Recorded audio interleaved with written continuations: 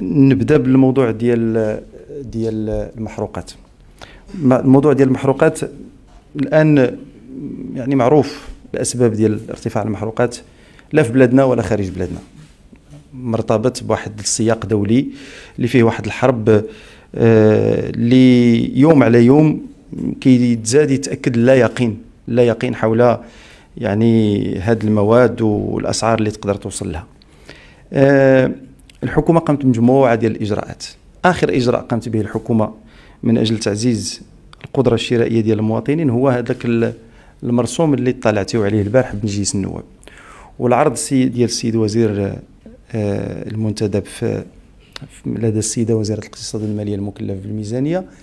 وضح هذه الأمور هذه وضح الارتفاعات اللي كانت ارتفاعات تقريبا التي تجاوزت الضعف في مجموعة ديال المواد منها مواد اللي كترتبط مثلا بغاز البوطان اللي الحكومة تستمر في دعمه واللي الكلفة ديالو غادي توصل ل 21 مليار درهم.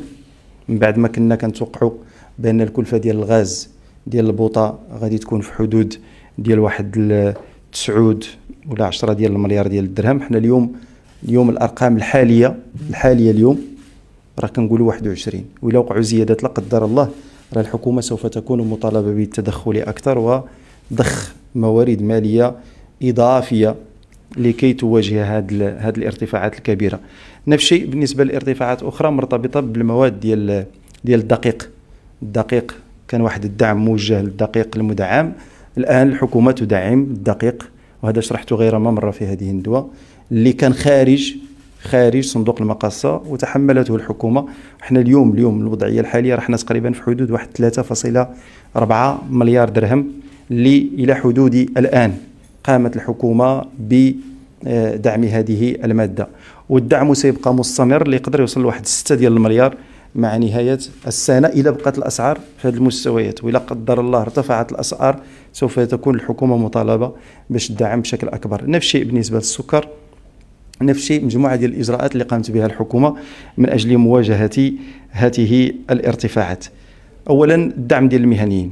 الدعم ديال المهنيين تعطى المرة الأولى وتعطى تعطى في شهر أبريل وتعطى في شهر ماي وتعطى في شهر شهر يونيو. ونحن الآن الحكومة الآن تنكب بجدية من أجل دراسة لأنه عطي الدعم اللي تعطى في, في, في أبريل تعطى دعم بناء على واحد المستوى معين ديال الأسعار. ولكن الآن الأسعار ارتفعت فالحكومة تدرس الآن الهوامش المتاحة والإمكانيات المتاحة باش أنه نمشيو في مستوى أكبر. 180 ألف عربة تم دعمها خلال هذه المراحل اللي تكلمت عليهم.